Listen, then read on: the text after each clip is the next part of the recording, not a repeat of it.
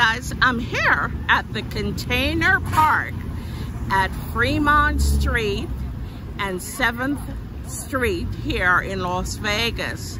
Yeah, I just missed their display here, or the, whatever you call it, the thing. Looks like a spider.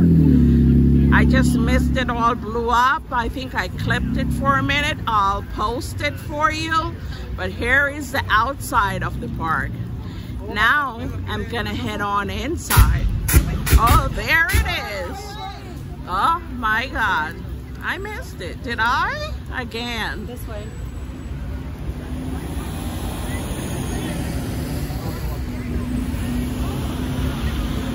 I hope to just go off for you guys to see what it is. It's like a spider jumping off.